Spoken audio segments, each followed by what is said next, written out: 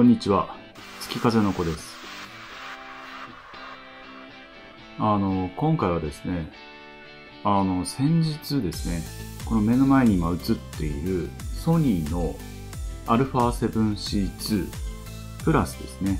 あの、レンズ、あとはリモコンを購入しましたということで、ね、あの、紹介させていただきました。でね、あの動画配信の最後の方におまけという形で、まあ4枚のね、写真をね、試し撮りっていう形でね、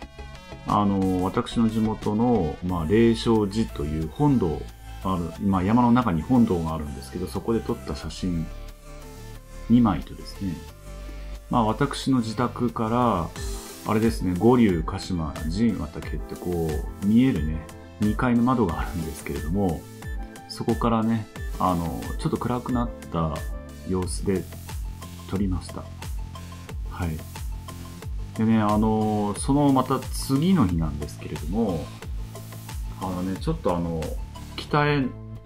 北の散歩道ってまあ紹介ね、あの、前回動画でさせていただいたんですけれども、そこのね、軍前に、あの、このカメラを持ってね、あの、歩いて行ったんですね。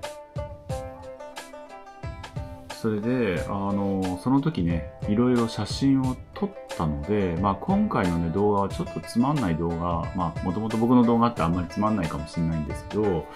あの、写真をね、何枚か撮りましたので、まあね、この後、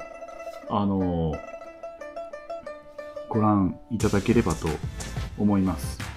でね、どうしようかな。あんまりね、5秒とかね、そんだけ流すと長くなっちゃうので、まあ3秒ぐらいでいいのかな。2秒か3秒。まあちょっとね、あの、編集しながら、ちょっとそこは写真を貼り付けて、あのー、やっていきたいと思います。で、補正は全くなしで、ちょっとね、どんな写真が撮れたんだろうっていうのをね、ちょっとこのカメラでね、撮れたのかっていうのをね、ちょっと紹介したいと思います。で、あとね、えっ、ー、と、この、α7C2 買った動画のところにですね、ちょっとね、最後、確かね、もしかしたらもっと広角買うかもよっていう あの、ようなことをね、ちょっと言ったと思います。はい。あの、実はね、あの、この28から、24から70ミリの、このね、あの、まあ、望遠レンズっていうんですかね、これを持ってね、霊障寺のえっ、と、三門って呼ばれる、こう、なんて言うんだろう、こう三門、まあ三門があるんですけど、その、そうですね、前回のおまけの、確か一番最初の絵だったかな？撮った時にね、やっぱね、ちょっと全体が入らなかったんですよね。でね、やっぱどうしてもね、やっぱ広角が欲しいなって考えてですね、まあその、このカメラが到着したね、当日の夜に、実はね、もう一個レンズを買ってしまったんです。で、それがね、あの次の日に届いて、レンズ、カメラが3つ揃ったので、あのまた霊障寺から撮って家に帰ってきて、あ、歩かなきゃいけないと思って、それだったらってことで北の散歩道の、その田んぼの中だけをちょっとね、歩いてる時に、この一眼レフで写真を撮りました。で、買ったレンズなんですけれども、レンズはですね、あの、できれば明るいレンズがいいっていうことと、まあできれば超広角がいいっていうことで、こちらの方を購入しました。こちらはね、だいぶちっちゃくなりましたね。これはね、あのー、11ミリの、えっ、ー、と、F 値がね、1.8ですね。これを買いました。でね、実際に取り行ったところ、あのー、練習中のその3門がね、だいぶ枠の中に収まりましたので、これはね、いいレンズかなと思いましたね。で、あの、これでね、レンズはもう3つ揃ったので、もうほぼほぼ、もうこれで、まあ、網羅ができるの、まあ僕がね、撮りたい写真とかはもう網羅できるのかなっていうところになります。でね、あの、一応あの、この広角で撮ったレンズの写真と、この24から 70mm で撮った写真と、このあの望遠70から300で撮った写真をね、あのー、これからちょっとね、パッパッパッと流して、パッパッパーなのか長くなるのかちょっとあれなんですけど、流していきたいと思います。はい、そんな感じですよね。じゃあ、あのー、ちょっとご覧いただければと思います。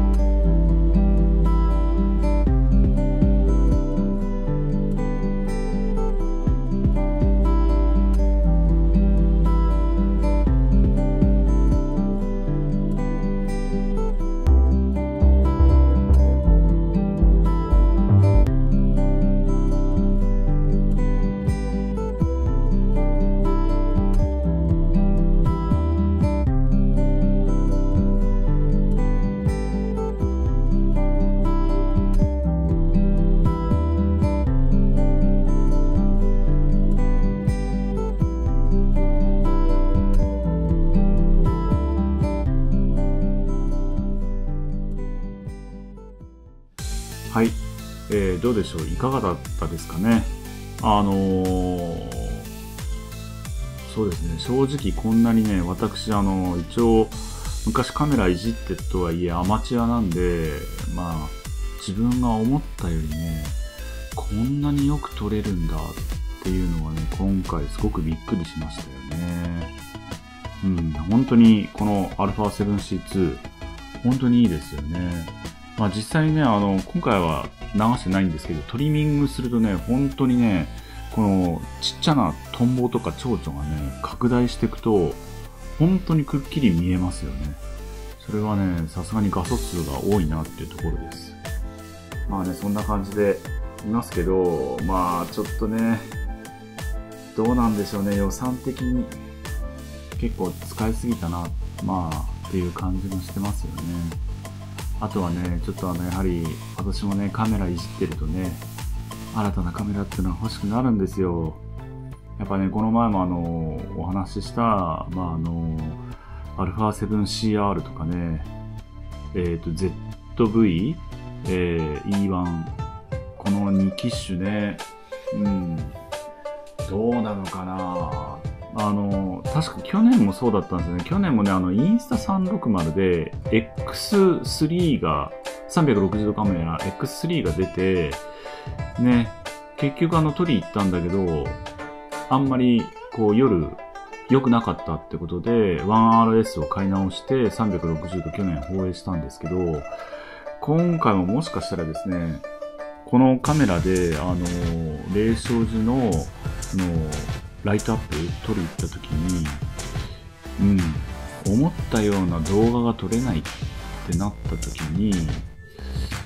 そうなんですよ。ZV-1 欲しいなってちょっとね、思いましたよね。あれも本当にね、Vlog っていうか動画で、いろんな YouTuber の方、あれから、まあこの2、3日ね、ちょっと見たんですけど、やっぱ夜相当強いんだなって思いましたよね。ただやっぱりあの一層感度のそのノイズがやっぱり低域と高域なんていうの一層が低いのと高いところはあのくっきりノイズがなんか除去されるんだけど真ん中のところがなんかノイズなんだっけ、アルファ6700と比べてなんか出ちゃうみたいなことは言ってる YouTuber さんいたんですよね。ちょっとね、そこは気になるんだけど、あの、やっぱね、うん、悩んでますね、今ね。うん、もしかしたら、買いたくねえな もう、ちょっとさすがにね、きついっすね。金額的にね。うん。ただもしね、ZV-E1 買ったとしても、レンズは生きると思いますので、レンズもね、当然ながら、あの、2.8の24から70の G マスターを使って、あの、霊障時のそのね、あの、ライトアップをね、取れば十分な明るさのレンズだと思ってますので、僕としてはあの、イチョウの肌とかね、あの、赤くなった紅葉の葉っぱだとか、ライトアップされたお寺、山門、ね、こちらの方は、あの、動画としては多分 ZV-1 の方が綺麗に撮れるような気はするんだよね。うん。まあね、そうはいつも今あるのはこの α7C2 一機のみですね。あの、あとはレンズで、まあね、まあ見られた方はあのこの写真があのまあ下手くそなんでしょうね。私もあんまり何も考えてなんでやる時もあっちゃうんでちょっと下手くそだったかもしれないですけども。まあねこんな風に撮れましたよっていうまあね α7C2 を使って撮った写真こんな感じでしたというね動画になります。まああの動画はね以上となります。最後までご覧いただきありがとうございました。